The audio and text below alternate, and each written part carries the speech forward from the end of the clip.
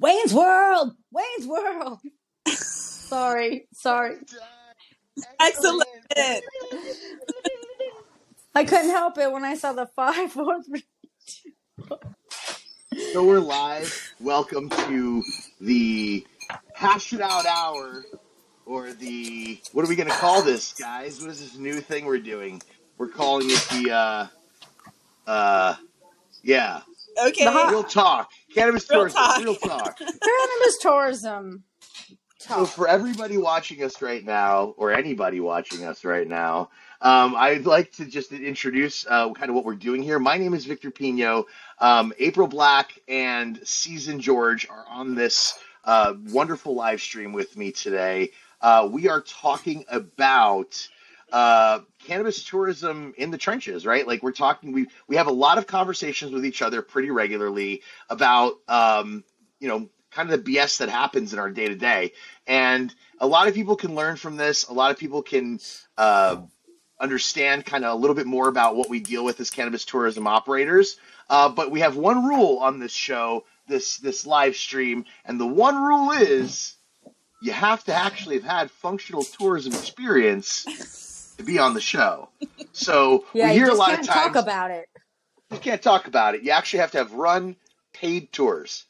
So that's we'll bring you on if you have something valuable to say. We'll see you next week. But in the meantime, I want to introduce to you guys April Black. Take it away, April. Well, hey, it's me, April Black from Higher Way Travel, and I've been bringing y'all tours for a long time, and I'm in good company with Season and Victor, and we have some stories to tell. And maybe if you're interested in running your own tours in cannabis tourism, we can have some tips, and you can learn a little bit from us, and you know, make your tours a super soaring success. That about sums it up. We're done here. No, I'm just kidding. Um, season, tell us, season George. What are you? Tell us a little bit about you and and what you're up to. Well, for me, I'm hoping to learn a lot from you guys. Yeah, I agree with April. I am in good company. You guys are the real professionals because let's face it, I'm a cannabis farmer. I never really expected to be a hospitality expert, but I'm learning. And it's really just about being, you know, available and being nice. So um, I can Service minded, right? That's what we talk about a lot, right? Yes, it's you know about the experience and keeping the vibes high, you know, and relating uh, a story that's meaningful that somebody can can relate to.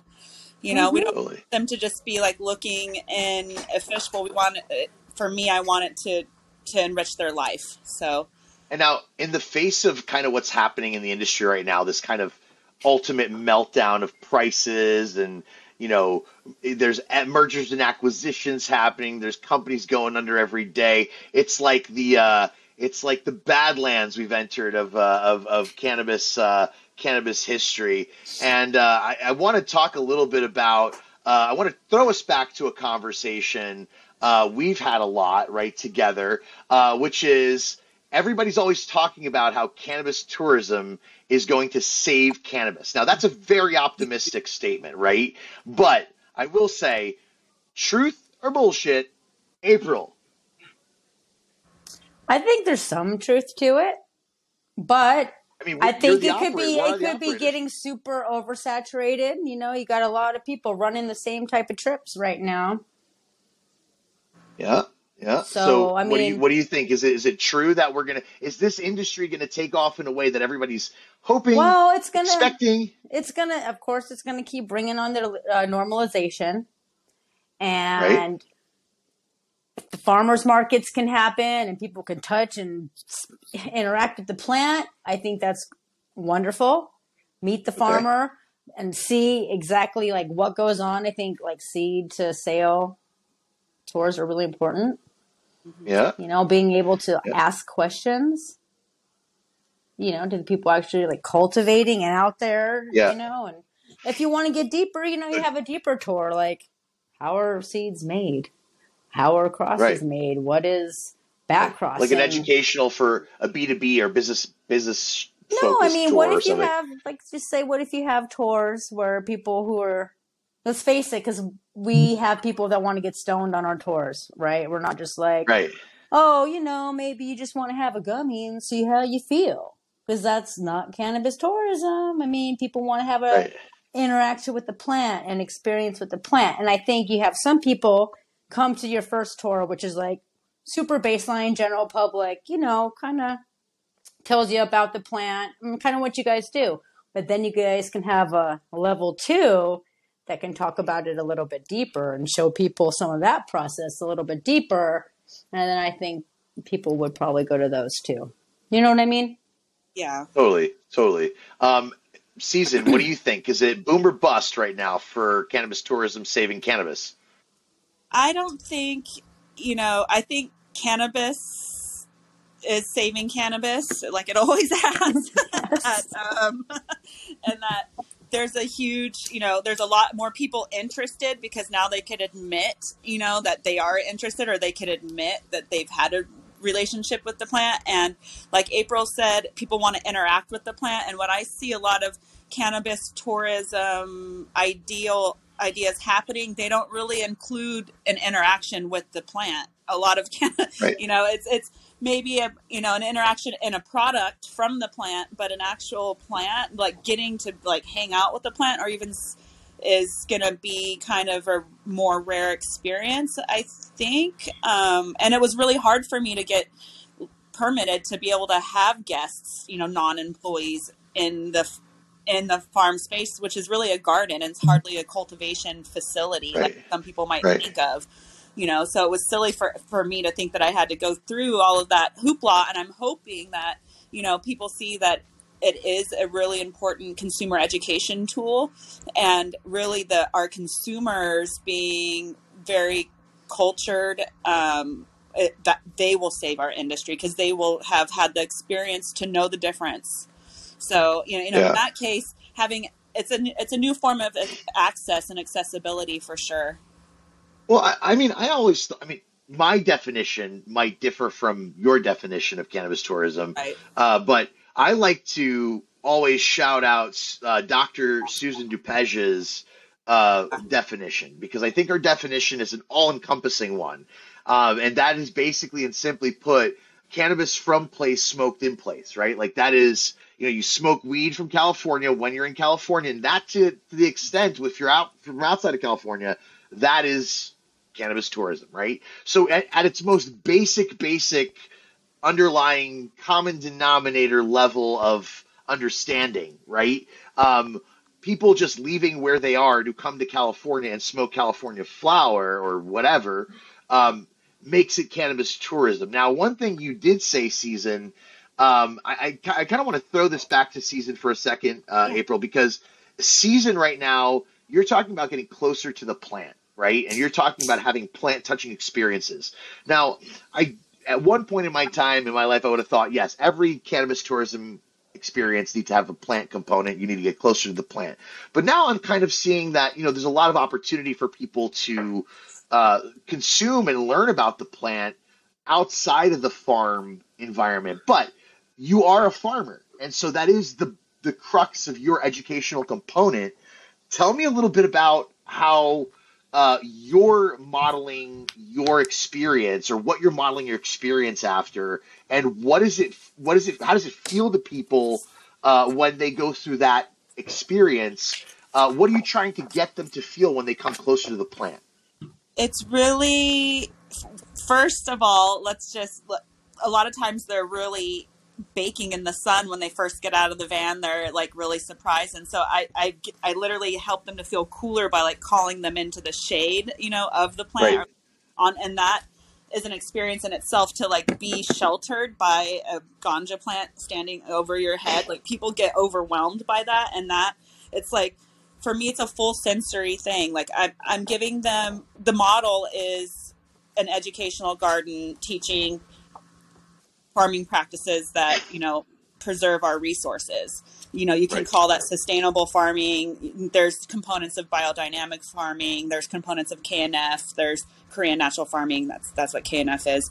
There's components you know and and i guess like now the blanket word you can say is regenerative farming. And there's you know so many people have ideas of what that is, but basically it's just creating diversity. And I think a lot of people, when they now think of like what a professional cannabis farm looks like, it's really monocropped, you know? And so for me, I'm hmm teaching people that there is like, you know, like a mass production of cannabis that's going to be cheap and available but what i'm growing is like medical grade that's going to have like a huge variety of cannabinoids and terpenes that you cannot get from a short, short fast grow on Right. led light you know so i think that that for me it's it's a full sensory experience. And, and we get into so many conversations outside of cannabis as far as like water conservation diversity in general um, you know and it, and it's awesome that these you know that cannabis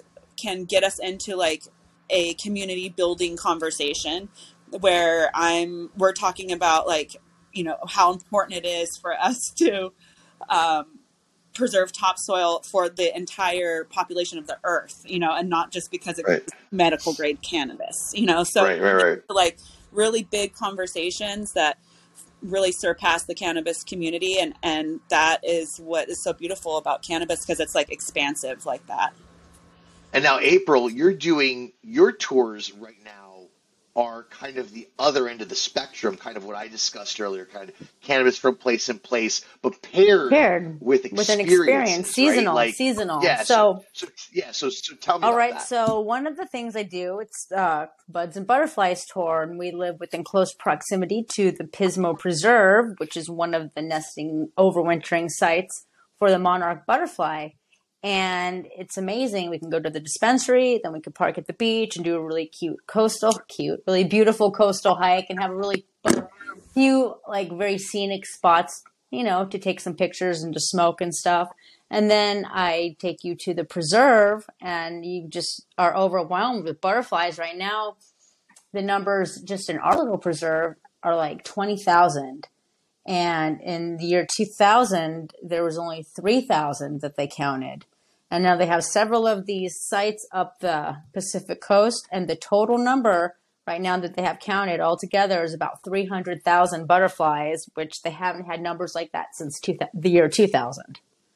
So it's pretty wow amazing. So So you're high, awesome you're out there, you've been like looking at these coastal dunes, you're on the ocean, you're walking on this elevated boardwalk, and you have these beautiful giant eucalyptus trees.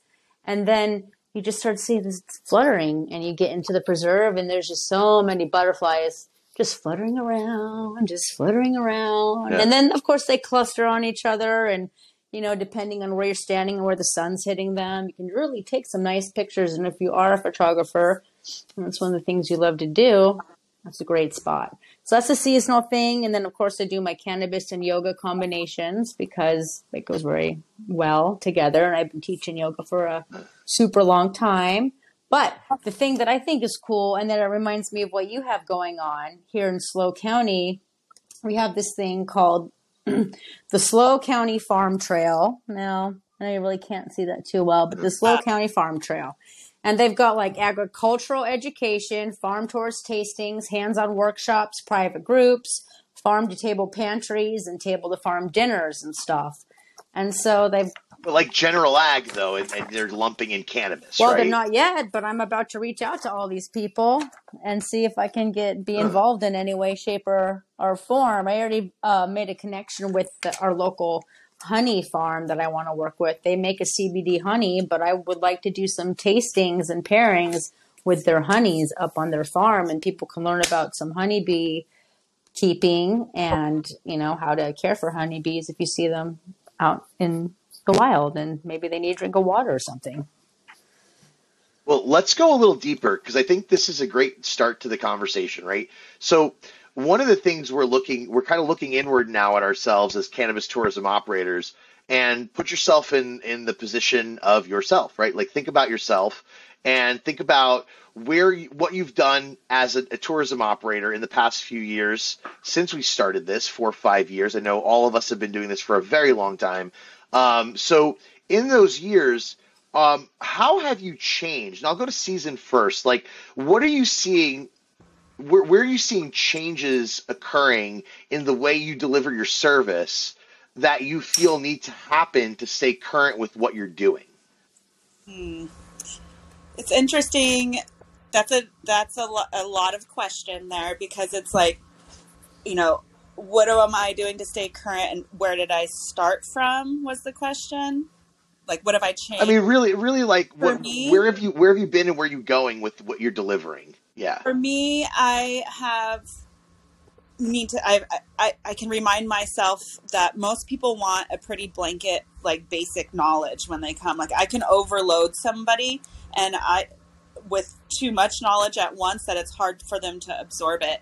And so I would like to have like an over just something that they could look at, something that they can hold in their hand with some vocabulary, something that they could take away if they wanted with the vocabulary. Something because I need I need more ways to get people engaged with the garden than just talking with them. I definitely every time try to make people feel like a guest rather than a visitor. And ev- and there are certain things that I repeat, of course, but a lot of times the tours are so small that I am able to really cater each engagement to their personal interest. Um, and wh- and I've noticed that like when I have had some larger groups, and the largest group I had was the Nature Summit, and these were like doctors with their adult children who travel, you know, all over the country every summer to a different spot, and so it was a different level than most of the visitors who are coming who are like cannabis centric. Like these people were right. on on a multi tour, like they they would be at a farm, you know, thing April, you know, where they're going from place to place, and cannabis wasn't necessarily their fam- favorite topic, and I was nervous about speaking to s- such a you know a diverse group of you know well educated people who are older than me, and we had such a good conversation, and so and we really got deep and and I could see that I like that people's minds, you know, it was it was like normalization happening in front of my face where I could see somebody come like skeptical and kind of like definitely I could tell maybe not their favorite part of their experience overall and then when they left they were like you know getting my contact information and really really you know I felt made a connection. So for me you know just learning how to be more comfortable and know that you know people are there because they want to be mostly and um that I want them to have a little bit more of a takeaway feeling like en- enriched as far as vocabulary or knowledge to be able to engage with a bud tender or even just tell their friend about their experience you know that they can say like Right. I went there and I learned this and that whatever Right. it may be so you know I How I about you? hand hand materials So, What? so more support, some more support Yeah, like maybe a support cool material. pamphlet, something that people will want to keep. Yeah. Something people want to keep. Yeah. Um, so April, where are you at with that? Like you started this a lot, a lot longer than both Season and I have, a lot long ago, a lot longer ago, and so now you are in a position where you're actually in a in a in San Oh Luis yeah. Obispo, down in in, in and now you're doing things that are kind of different from where you started just a couple of years ago, a few years like back. a So what are you doing differently? because I started Yeah, off doing activities and tours when I worked in uh, hospitality as a activities director at a resort. So I would lead people on hikes and I would teach yoga classes and do tie dyes by the pool and make, salsa and teach people about like foods of the Southwest. right, Okay, because it was in Arizona. But then I started cannabis tourism and I was booking just the trips for the Amsterdam Cannabis Cup and that was pre-packaged tours with like you know, very stoner specific and also like making it easy for people to travel. You know, you have, you can do payment plans and I learned about that. And then you know how to like construct and to build an international tour so that people who are, have never had an international travel experience are doing that. And then when I started Higher Way Travel, I was like started with the travel agent part of things, and being a travel agent is like uh, kind of sucky, honestly, guys, because people want to just get information from you, and then they don't want to book. You get shitty commissions. Sorry, airlines, but come on, step it up. real talk. Um, you know, you get people they want. Oh, can you tell me some names of some hotels? Oh, yeah, I could, but then what? You know, so I'm trying to. I was trying to figure out different ways to you know, at least let me get something. And then you have hotels, um, like the one I used to work with in Jamaica that doesn't want to pay me commissions. And I have booked so many people there and Where's my commissions? Do you think I want to have retreats there anymore? No, no, I don't. Do you think I want to eh, refer eh, people to go eh, there? No, no, I don't. So that was a really shitty slap in the face, you know, because I felt like I kind of put them on the map because they had their first article written about them In in Forbes, Forbes. right? Yeah. Forbes. Yeah. And, you know, oh, That's shit. yeah, That's awful. right? And then, so, So pay your people. You're responsible for what you owe. you know, it's kind of, it's kind of sucky. It just makes me not want to work there. It's, you know, whatever that is. And then I realized though that I do like small tours. I don't necessarily always need to do like international. You have to get an airline ticket to fly places because it kind of goes against how I feel ecologically, you know, and I struggle Right. with that. But I do like doing small cultivated things with small groups of people where people we can all connect and people can make friends with other people and who knows what will happen on those small cultivated trips. So small groups are my vibe. And if people, you know, are really serious about booking a vacation, I'm open to consulting with them and helping them build the vacation of their dreams. But, you know, I don't just like waste all this energy giving people all this information, emails back and forth for nothing. And Yeah, I, I yeah, and that's that. I think for I think for me it's a little different than both of you actually. Um, right now my I'm tailoring my tours. Uh, I listen to my customers. I see what kind of their underlying needs are, what they, the feedback they give me, and then every year I go back and kind of re, retool my tours. One of the things I've actually not been, you know, I hear a lot of customers, they take my tour, they say, oh, you know, it's a little pricey or maybe the price point's a little high for them. But what I'm looking forward to here in uh, in 2023 and and the season to come is uh, lowering my prices a little bit, making it more accessible for everybody to take my tour. Uh, when we started the business, when I started the business and running tours, you know, you, you're kind of you're you're learning and you're making mistakes and you're spending money and doing things that maybe you don't need to do right up front.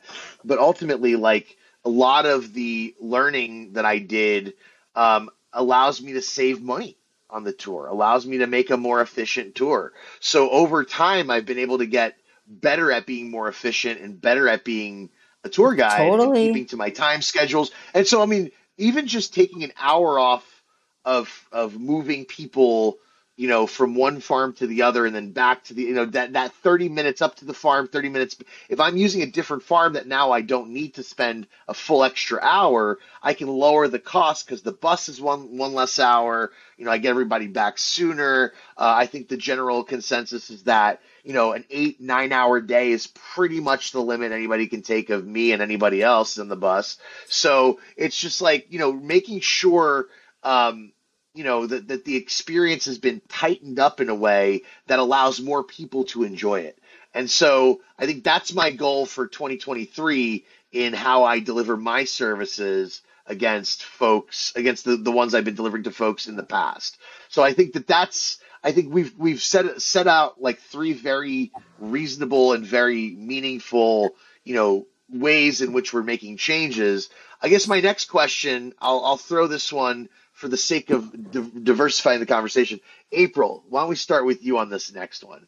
What are some of your biggest challenges uh, when you go to set up a tour from the very beginning, whether it's a repeat tour in a new season or um, or a, a tour that you're running for the first time? What have been the biggest sticking points for you throughout this whole thing? Oh, marketing's been my suckiest thing because I I put ads out like in some of the local like guides that go to out to all the tourists, you know, and Right. had that they have them at the California Visitor Center, and that really didn't get me much traction. And just you know, social media doesn't get me much traction because I'm shadow banned. So I'm just trying to step up my street teaming and and be out there, be at events and do things and connect with people that way. So that's been my hardest thing. How about you, Susan? I guess I'm lucky in the way that I really just get to put down my tools and be like, "Hi, welcome to my farm," and I don't have to do any other pre, um, you know, coordinating you guys have so many working parts and you have all these different personalities with bigger groups who've traveled maybe even farther. I can imagine the pressure of you know putting that many people in in a small space and for a small you know any length of time. So for me you know i guess a challenge for me is really trying to understand like how much I can do of it. You know, like last year I was just I never I really challenged myself to like never say no to somebody who wanted to come for right. a tour. And it was really fun and but I you know, I really just have to put down what I'm doing and and talk to them and get right back to it. It's like I can't sometimes I'm so vibed up that I need a little bit of decompression or sometimes like if it's a big that big group I like set a big table and like had flowers and all sorts of stuff. You know, and I'm thinking I can't do that every time, but because it was a big group I was getting paid more, so it was worth it. You know, so yeah. I have to understand that what I'm doing right now is a consumer education outreach program and it's nice to have an income from that. You know, it's marketing that I'm getting paid for rather than having to pay for. Heck yeah. And so, yeah. you know, that's unique in in that situation, but learning how it's going to bring a value, continue to bring a value to me and not going to take away from my obligation as a farmer because at first right. I'm not going to have anything to show or you know, it's not going to do me any good if I don't have a product to sell. My tagline is more than a product to sell and an experience to share. Well, like right now, I basically am doing more of the experience sharing than selling the product. Right, right, right, like, right. Well, I mean, like, right. I mean, so I kind of did that to myself. Yeah. Well, that that's a real challenge too, right? And that's almost like a like a legis- a regulatory challenge, right? You can't sell weed directly to these people uh, under the current system, right? Under the current model here in California. No, so this is what sucks, right? Yeah, yeah. That's a challenge. That's my biggest challenge. Yeah, exactly. Boom. Yeah, no, that's that's why I want to connect with these people on this farm tour, you know, and just have more of that. And some of these people have farm stays and all that kind of stuff. So it's just my county is a little bit reluctant to cannabis in general. So I've just been, yeah, you know, just. Yeah.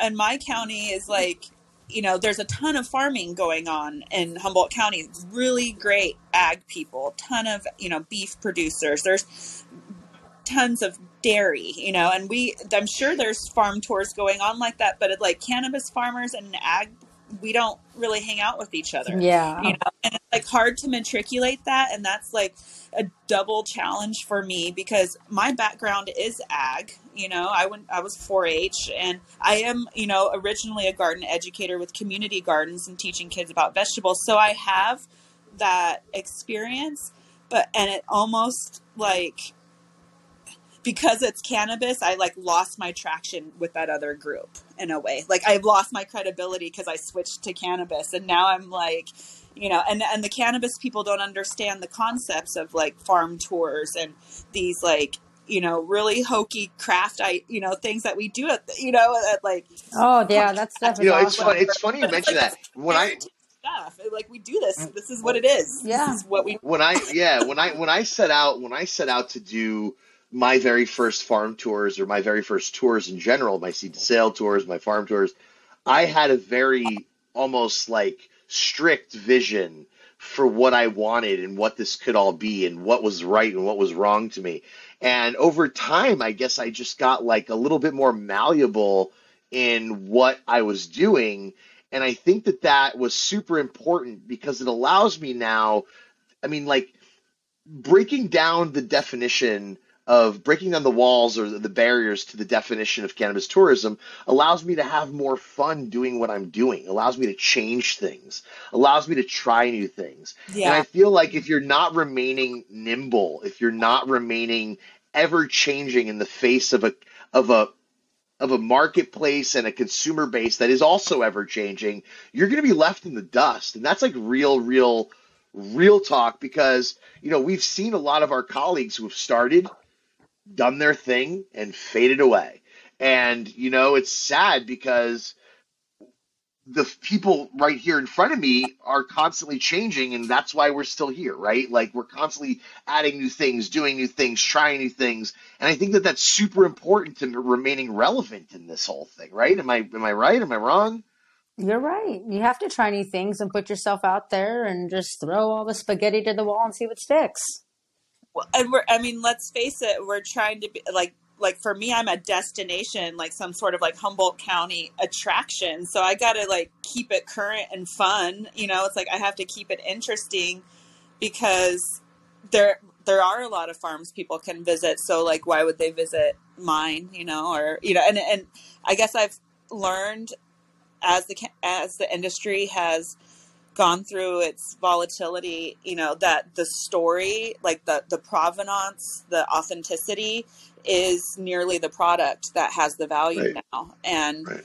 And it's like people are like searching for that right now. It's like as they yeah. they're also the, like there's people who have who are, have had such a close relationship with the plant and they're like you know imagined what legalization was and they're like what this is yeah. It you know like and i have so many yeah. consumers who are so more cultured than any of the industry ever gives people credit for. And we have to remind yeah. like most of these people have been having a personal relationship with the plant and they're, as long as they're we have Yeah. right? As longer than they've been in business. And so it's yeah. like you can't really fool these folks. And it's just it's uh, so validating to me to see them doing the work to seek that authenticity out to pay the money to take a trip to you know and that i guess that is could be the saving grace of the cannabis industry. If they're talking about tourism it's that people care enough to seek it out like that you know and that the fact that they do care enough and they will spend the money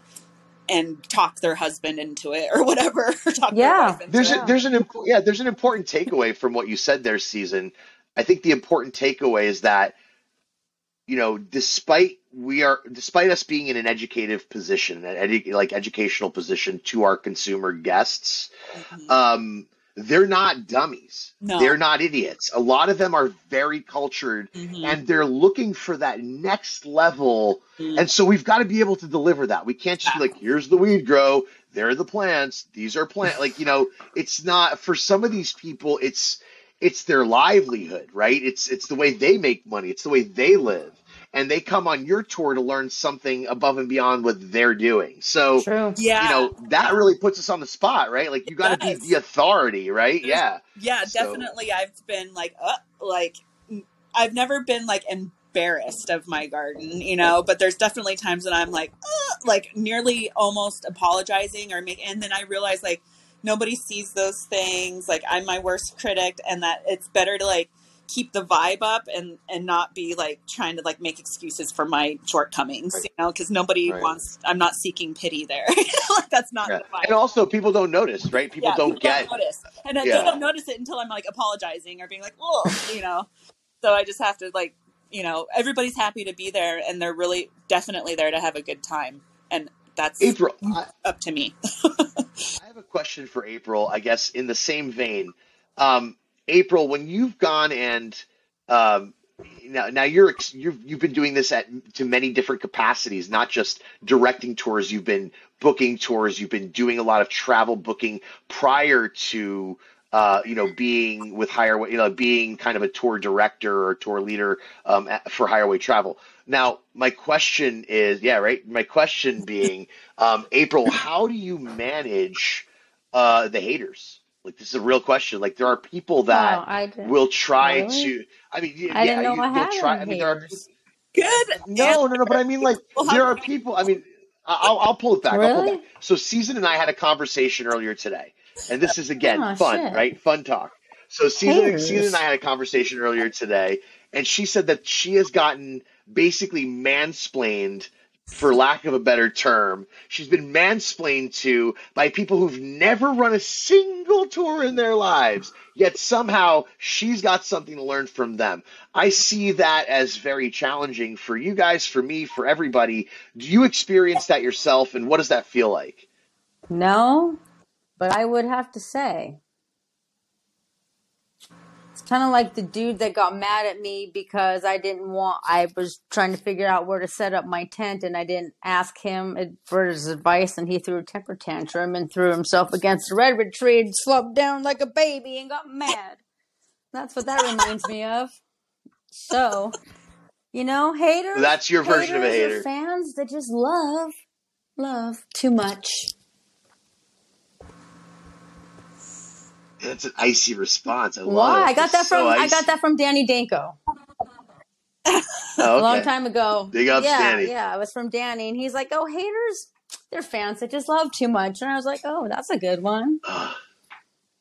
Well, I mean, you experienced this season. Tell us a little bit about you know what you're getting on on your end, right? I mean, for me, you know, I guess uh, when we were speaking about it earlier, I was saying I you I used to pipe up and say like what you know, hey, and like assert myself, and I've learned for my own self interest that it's better for me to gather information Ooh, than yeah, to yeah, think yeah.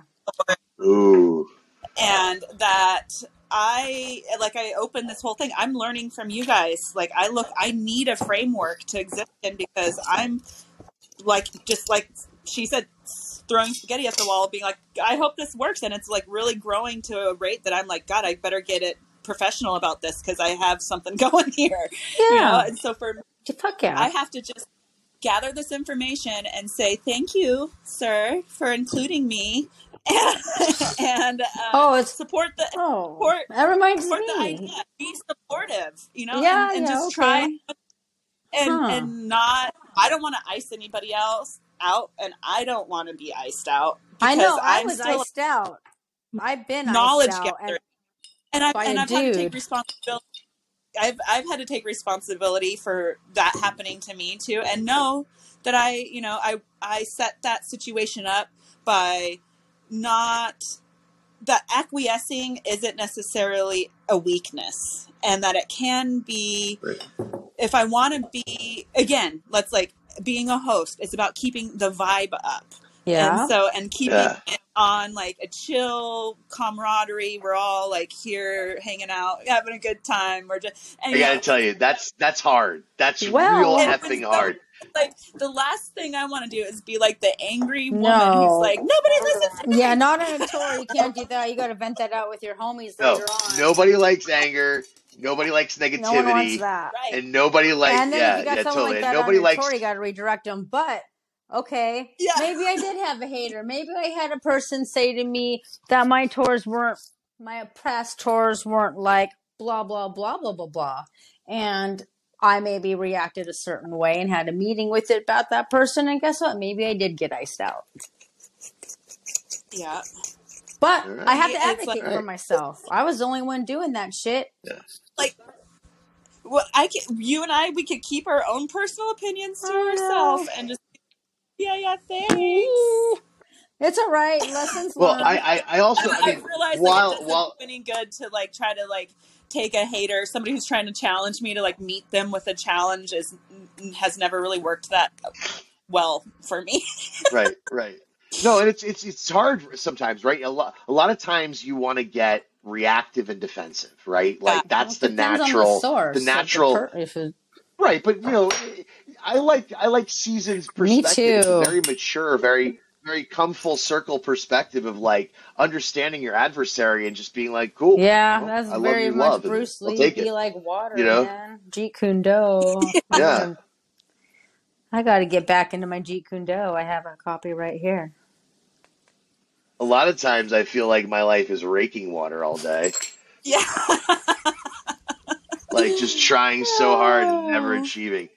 But you know, real talk, right? Like, um, I I think this is this is great. I love this so far. We're about halfway through our time, and this is going swimmingly well. I love this. Good. Um, so yeah, so let's let's let's move on to another another topic. So 2023 has a lot of great things around the bend. We've been hearing a lot of craziness around this is the year of tourism.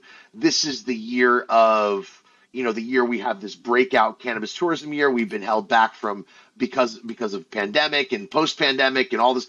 I have my own opinions. We'll go around the circle uh, in, in the group, but tell me a little bit about season. We'll start with you. Um, a little bit about when you are examining kind of the the projections that you're hearing, that your data you're pulling together, and kind of your research, reading this or that. Um, what are you? We have a lot of optimism as an industry, but what are you thinking, thinking and seeing as kind of the real? Like how, how is your mindset around how much how much business you're getting this year in 2023? Like what is, what are you expecting and what do you think is realistic versus other years?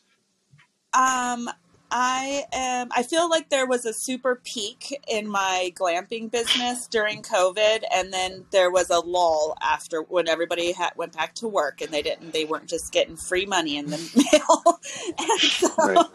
and so um, I am anticipating it to pick up some more because I've gotten some d- different press. I've got. I think people are now getting in their mind in the ether like glamping at a weed farm is a thing I can do. I want to do that. And so I'm expecting more people to um, want to do it. I'm expecting more people also to set up their farm to do it. And um, I'm expecting a lot more directives, like people who don't have a destination or who like like you guys directing people where to go. Like I'm gonna I'm hoping to expand my, you know, collaborative efforts into getting people from outside the county to come and you know i'm really happy with Hipcamp i don't feel the urge to like expand on Hipcamp. I think there's a few other places that have like listed me who just promote the Hipcamp listing like bud and breakfast. They don't do any direct bookings and stuff. So i'm expecting more more apps like that to pop up and you know hopefully a little bit more press you know. Uh, my sister is getting married and they are considering having the reception at the property. So i'm really hoping we could do that because i've always wanted to have a wedding here and i think it would be so fun to you know oh do that so God, i'm kind that'd of be so magical. no i really really really i've been on this bathroom and shipping container courtyard for like over a year my dog getting his leg broken cut into my shipping container fund which you know i love my dog no complaints but I'll get that shipping container. um, April, that that's a great segue into another question that's kind of in line with this one. What role do you think, um, D, as DMCs, right? Like uh, DMCs are, can you? What role do DMCs and travel agencies, and particularly um, like county uh, tourism boards and state tourism boards what are what role do they have to play that they're not playing Well, it depends on the county, right? And it depends on the city because Grover Beach is super welcoming and that they had me in the California business, I mean, California visitor centers and welcomed me with open arms. You just have to be honest and go talk to everybody and just, you know, see what you could do within like what they think is okay, right? And and get out there and do it, which is what I'm doing in SLO County now. Things are opening up though, so I feel more comfortable talking to people. so back to you season that same question like where are where are people where are where are the organizations let's say that are supposed to be promoting this sort of thing where are they helping hurting dropping the ball what are you experiencing in humboldt what are you experiencing what do you think that this this this whole like subgenre of marketing uh, within the cannabis tourism space like these it's crazy because I feel like I worked really hard to get all licensed and like present, and I've gotten good reviews. But it seems, and Humboldt County has embraced me. I have to say, like you know, I got that grant.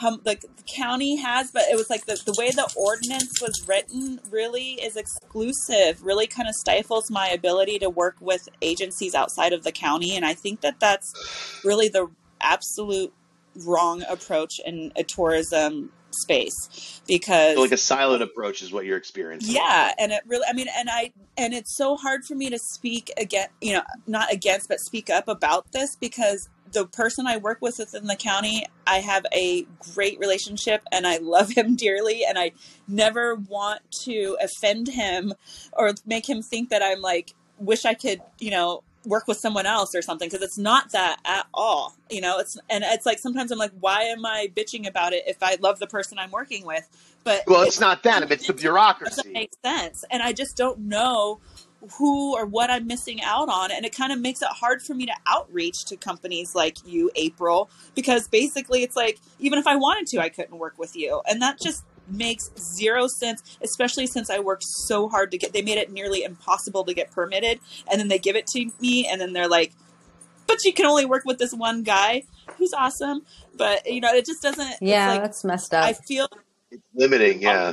Also i think about like okay also if i whine about this and they're like yeah open it up season you know um what can i do more tours am i am i bitching about something that i couldn't even fulfill if i if i got more tours you know or if more people were and what i'm thinking is it's not that it's that i want more tours i want more Yeah. diversity i want to meet more people and i want to know you know i, I think that there's i don't know i feel like i'm probably missing out on a lot more people who i could connect with and that to me doesn't seem like any other american business model i can find that like you can Definitely only not free Yeah. market. Yeah. yeah like it just makes i just don't even know how they got away with it Yeah, that's very stupid.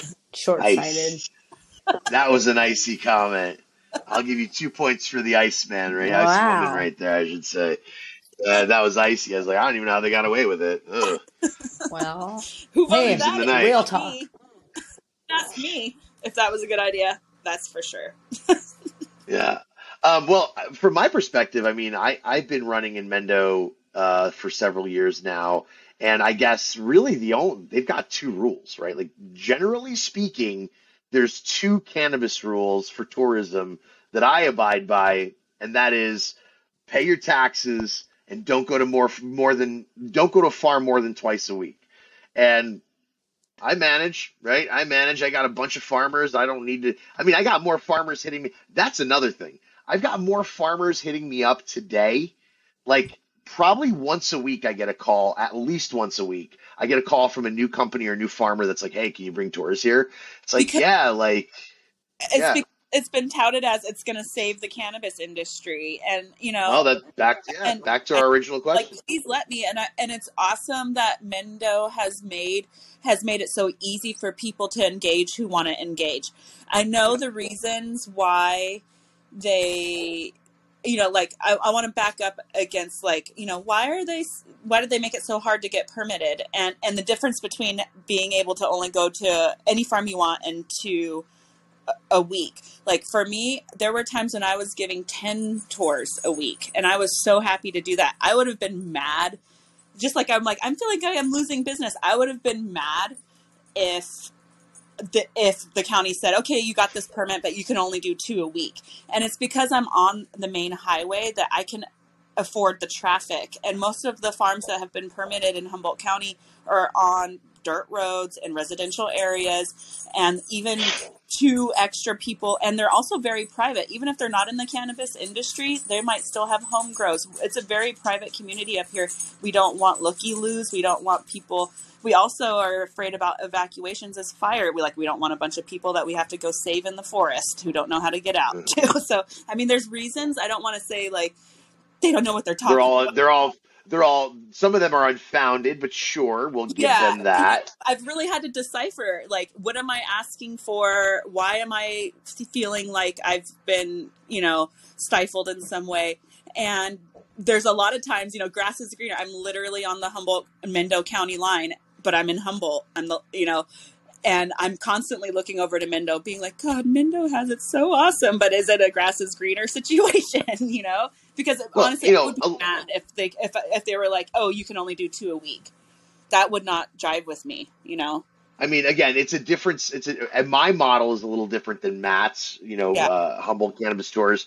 Um, my model is not as accessible. Let's just say. I mean, I'm a much more expensive product. I travel a lot greater distance to Yeah. bring my my my guests to the farm farmlands, right? Yeah. And so um, the the model kind of works well for me and I've adopted it and I've adopted the rules as they work well for me and same thing for you in in Humboldt. I mean like and one day for you know when they when farms start kicking online for for April, you know she'll be able to to do the same Oh to some degree. But I guess um you know I'm I'm looking at this whole scenario and I'm and I'm thinking like you know I've talked about it on the podcast in the past. We I've said it you know, cannabis in America for at least a little while is going to look like 50 shades of cannabis legalization, 50 different versions, 50 flavors of, of legalization, right?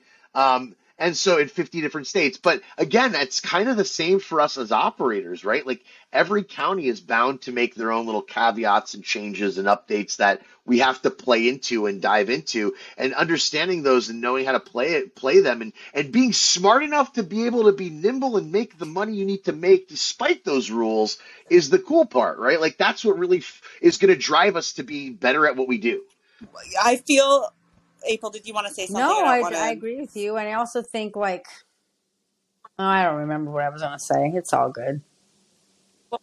I Tony feel moment like, like the Humboldt County, like the people who are in charge of tourism, have this like crazy idealism that they're going to resurface the entire, like, give Humboldt County some sort of facelift and also cure homelessness before they're going to launch a cannabis tourism campaign because they're worried about cannabis stoners being like riffraffs for like reggae on the river and they don't want to open up Humboldt County to be what's left over at reggae on the river you know? And it's just like so not I I don't know. It's I so don't tourist these judgmental of days get them. it's that like Very sentiment yeah. judgmental. it's super yeah you know when I was I- and, and I mean and I was I, I'm kind of speculating probably but at the same time I feel like definitely they feel like it's going to get a facelift and i'm like no people want the natural beauty like i don't know i don't know what they yeah I think think the I think a lot napa of of times a lot of times i'm like yeah we're never going to be I, napa I No, and I think I think there's got to be a lot of realist.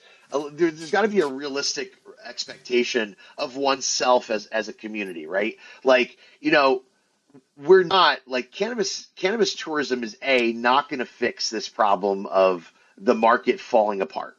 No Cannabis tourism is not going to fix the homelessness in in Humboldt. No. Cannabis no tourism is not going to do a lot of things, but I think people are like, well, we have to set all of these things straight before we open the door for cannabis tourism. I think that's that's a miss the boat Yeah. like way of thinking. Like that's another way of like kicking the can down the road and not doing what you need to it's do. almost like afraid to go you know to like come out to the party in a way because you're just not you think like it's just Yeah, it's not like they're right all in or something like you just you can't know? like walk out yeah it's like it's like actually if you open the doors and are like hey welcome check it out people are so stoked and like if we don't hurry up and like get the track like we're losing traction already and as like one of three in Humboldt County, I'm a little bit like, dude, I'm not the only story. I tell that to every single person. Like, there are so many people like me out there. Like, there's a huge diversity of us, and all of us have a cool story, and all of us have been like pioneers and like outlaws. All of it, you know, like most uh, most of us here have this amazing story. But it's a bummer that like I'm the only person sanctioned to engage with people and it's a little bit of a burden in a way because it's like Yeah. I think like if I continue to grow like I did last year 150% increase which is you know crazy I can't there's no way I'll be You'll able to break. reach all those people You'll so break. Yeah, you won't be able to farm anymore. well and then Matt oftentimes Matt's like season but if all these other farms come like it's it's the circuit of where I am like through the grove like the end of the county it's like the destination and like being on the highway is really good. He's like, season, I've been to other farms and he's like, you're still my favorite, which is so flattering, you know? But it's also, it's like, it's, it's his, he's got that loop down. He's got the, you know, the trip Yeah. down and I see it works for so many reasons. And that's why I pursued the tourism thing. But for me, I'm like, please let more people, um, you know, be able to. And then most everybody's like, but we'll still come visit you. And I'm like, well, dang, you know? Well, that's that's a good feeling, right? Like that's a good feeling to know you have some longevity in the game just yeah. because you're excellent. But um, I mean, like you know, I want to talk shit a little bit for a second Okay. because you know one of the things I was always told. You mentioned it a second ago. Like I was always told this is not you know, humble local people would tell me like this is not your story to tell. Yeah. And I and I was saying, hold on. Like I'm not here to tell your story. I'm here to bridge the 4-hour, 3-hour gap between the city of San Francisco and lower Humboldt, southern Humboldt.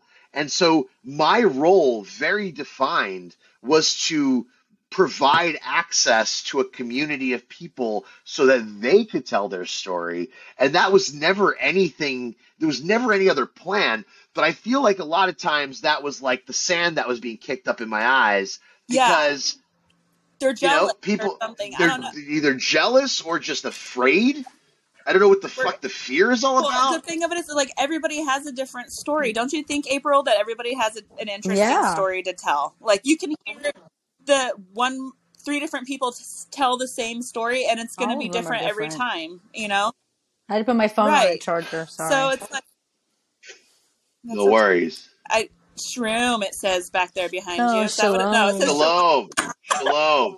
She can shroom Yeah, I see on shroom. Shabbos. I'm seeing Shroom. shroom. Well, it's also very peaceful.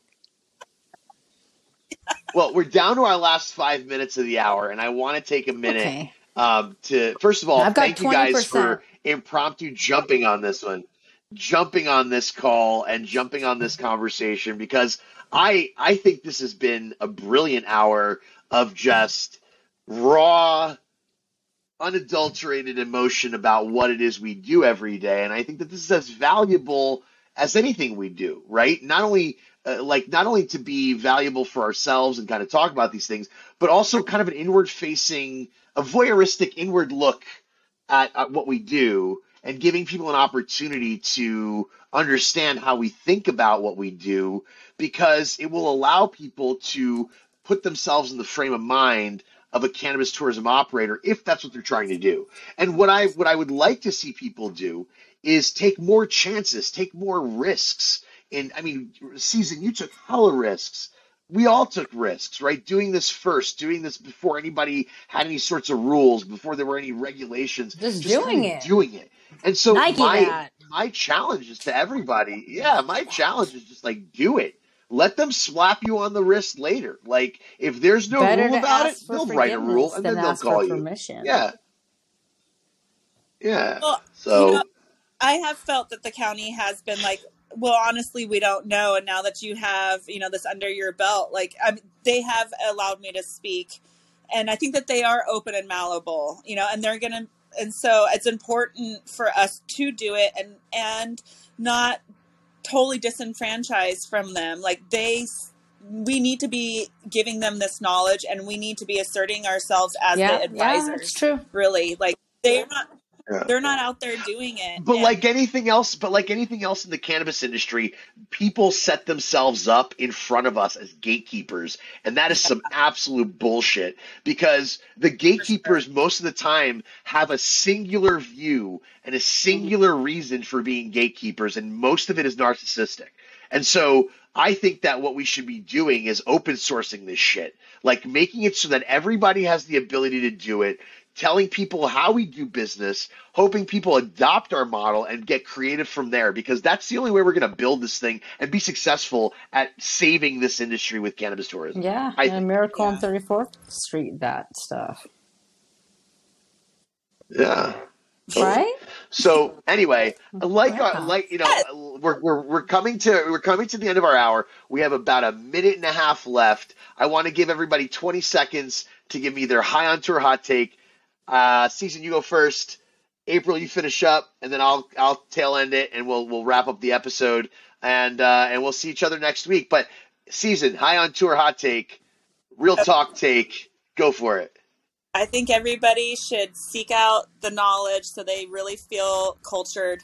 You know, there's so many opportunities to take whatever you're interested in the next to the next level and, you know, whether it be poetry, art, you know, I don't know, sewing, whatever, knitting. Growing weed. Yeah, Yeah. do it. Take take the class, take the trip, culture yourself. You're not going to learn anything on your phone or listening to a podcast. Sorry, love you guys. That's true. Yeah, it's totally, just totally. podcasts are there just to shed a little light to get you out there doing stuff. Thank you for And that's the truth. Yeah. Really? Well, this one this one's got our faces to it. Another I say added for level. So 2023, you know, be the watercolor of your own life and say yes more. wow. Wow. All right. For 2023, I'm going to be more myself, make it more accessible, and love more.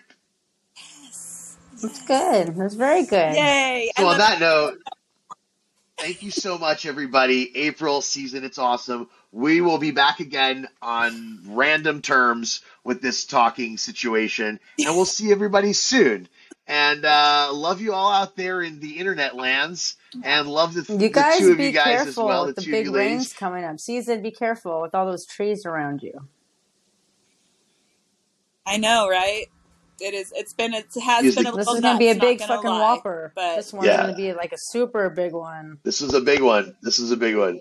Yeah, when I came back from Anderson Valley yesterday, or I came into Anderson Valley yesterday and back today, um, I went through several rivers across the road, across 128. I went over some trees. Scary. You know, like it, it was fun. It was an exciting. Yeah, don't not made for a Honda Civic, but you got to make sure you have a big truck that can that can handle those things. I don't have a Honda Civic, just for the record, but you know, I made it. I survived. All wheel drive, four wheel drive. We made it happen. Um, guys, thank you so much. We love you all. Um, have a wonderful evening, and we'll see you all soon on the trail of cannabis tours. Bye Thank you all. bye. thank you.